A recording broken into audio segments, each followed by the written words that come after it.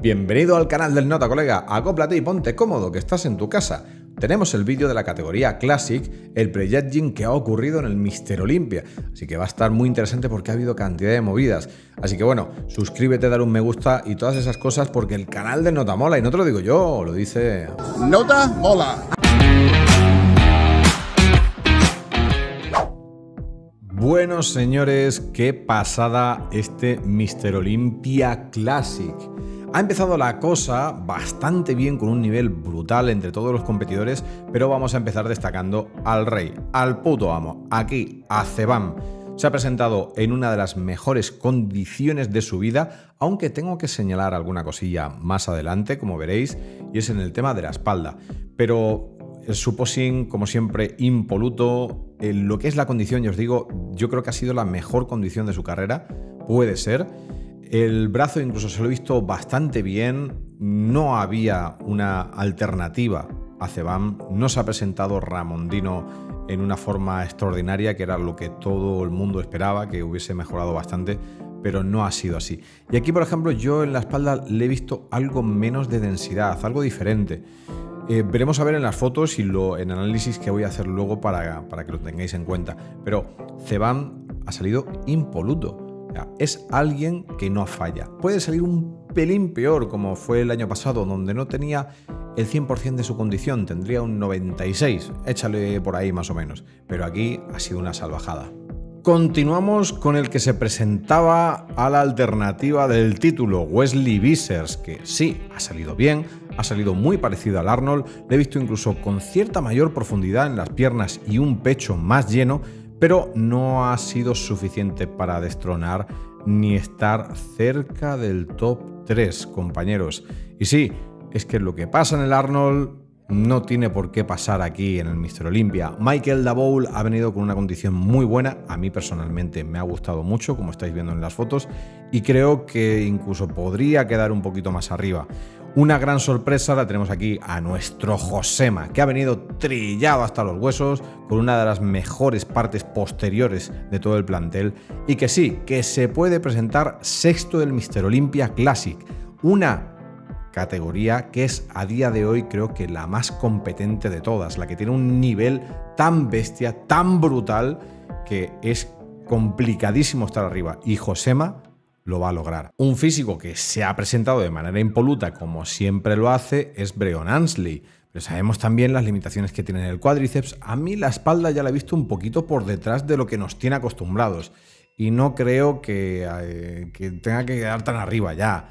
Ramondino, como veréis más adelante, os tengo unas cuantas sorpresas. Le he visto venido a menos, con un posing de espaldas bastante deficiente, muchísimo más pequeño de lo que yo me imaginaba. Y bueno, Urs, una de las grandes sorpresas de la noche, y eso lo, veréis a lo largo del vídeo, que me ha gustado mucho el pectoral y el dorsal tan lleno que ha presentado. Por no comentar, la espalda en general muy buena, un hombro también más, vamos a decir, definido, más condicionado, más separado. Y las piernas para mí son las más bonitas o casi las mejores.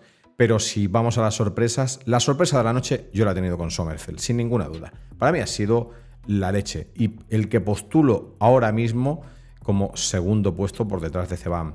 Me ha encantado, me ha callado la boca y lo diré a lo largo del vídeo porque es que, ¿qué, os puedo decir?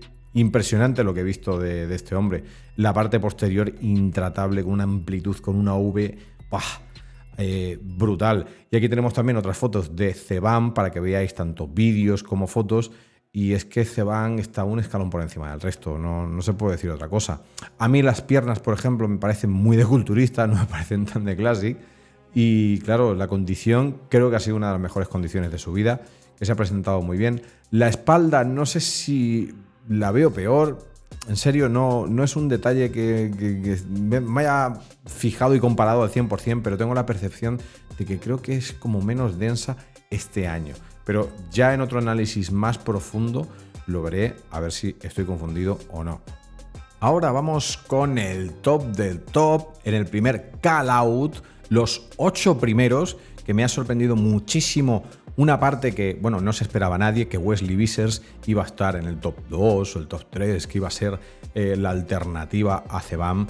Luego teníamos a Breón que se ha presentado en su mejor condición, como siempre. Michael Daboul tremendo. Josema que estaba ahí en el primer call-out, que la madre que lo parió, di que sí. Urs muy grande, muy bueno. Ramondino venido a menos, un tamaño bastante mermado. Sommerfeld, para mí la sorpresa de la noche, junto a Urs, pero más sorpresa a Sommerfeld y Ceban impresionante.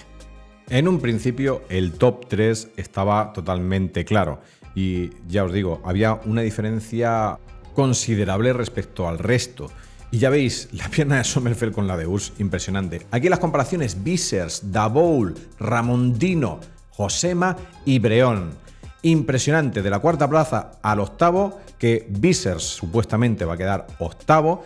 Luego séptimo entre Daboul o Josema, que ojalá Josema pueda quedar sexto. Ramondino aquí lo vemos echar agua como un cosaco. Ha echado agua, ¡bah! Y ya os digo, la gente se le ha tirado encima. Y bueno, Breón incluso se lo está diciendo, límpiate porque estás empapado, macho. Hay muy buen detalle de, Breón, cosa que me, encanta que haya compañerismo. Luego, ya veis la espalda, un destrozo a Ramondino. Madre mía, qué destrozo de Ramondino. En serio, qué decepción. Y Josema dando el do de pecho poniéndose al lado de Daboul, que yo lo he visto impresionante, así os lo digo, Daboul le he visto la mejor versión y creo que podía incluso darle muchísima guerra a Breón.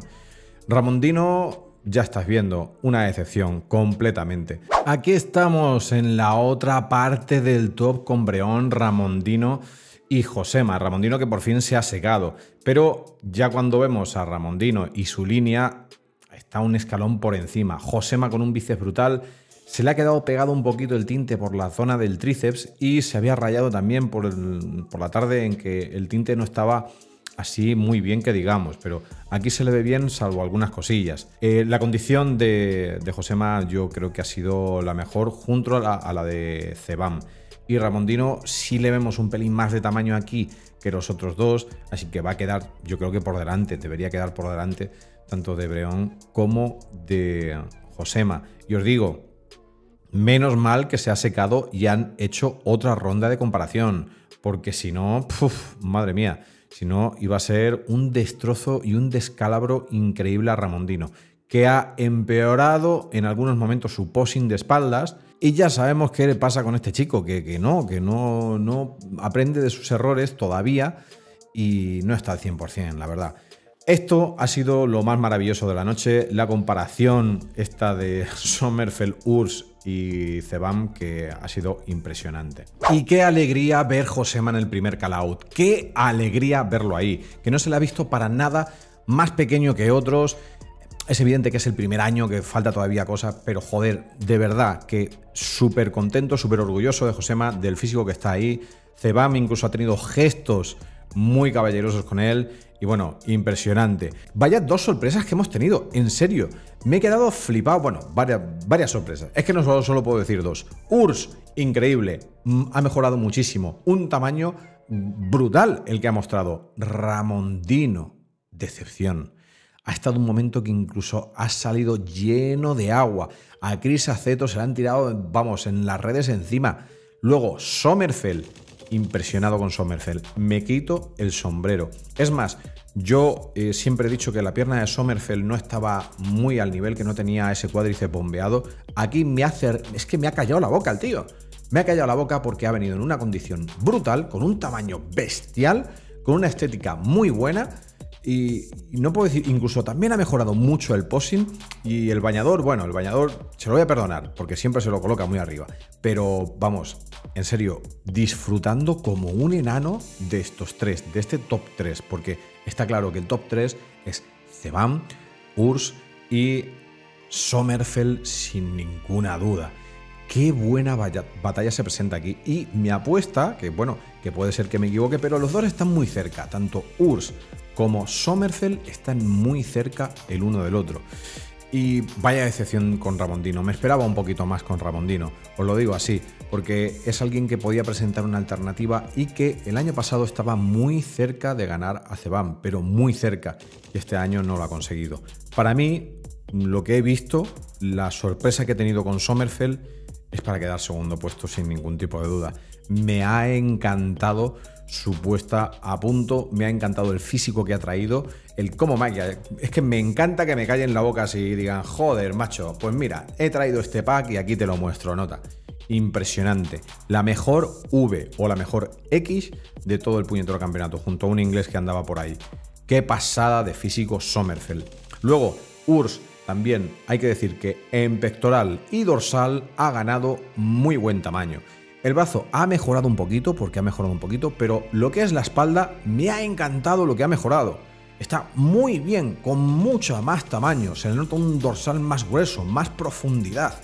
Pero tiene una cosilla que luego os diré en las fotos, porque ya sabéis que yo soy un pejiguera y me encanta ir al detalle. Pues bien, aquí vamos a encontrar unos detalles nuevos en la espalda de Us que va a estar interesante. Y bueno, decir el número uno, Cebam. Tal y como hemos visto a Cebam, pues indiscutible ganador, porque es, indiscutible. No hay alternativa ahora mismo. Lo más cercano que he visto a Cebam es Sommerfeld. Y para mejorar esta versión de Sommerfeld, yo no sé qué es lo que hay que hacer, porque me ha sorprendido otra vez. El año pasado no me sorprendió tanto. Sí que te digo que dije, Up, pero este año ha sido una verdadera pasada el cómo se ha presentado. Analizando este top 3, aquí se la puedo dar a Ceban, a Sommerfeld. Eh, quedó por detrás un poquito a Urs en este doble bíceps de frente. En perfil, por supuesto, Ceban y luego Sommerfeld y aquí Urs muy a la par. Se puede poner un empate. Aunque personalmente la pierna aquí de perfil de Sommerfeld me gusta.